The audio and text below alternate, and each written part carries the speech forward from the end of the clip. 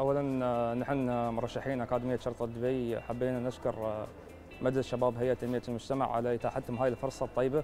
وفي هذا الشهر الكريم وهذا الشهر الخير أنهم آه، خلونا نتطوع ونقدم وجبات سحور. وشاركنا العمال فرحة تقديم الوجبة. ونشكر كل من ساهم في إنجاح هذه المبادرة.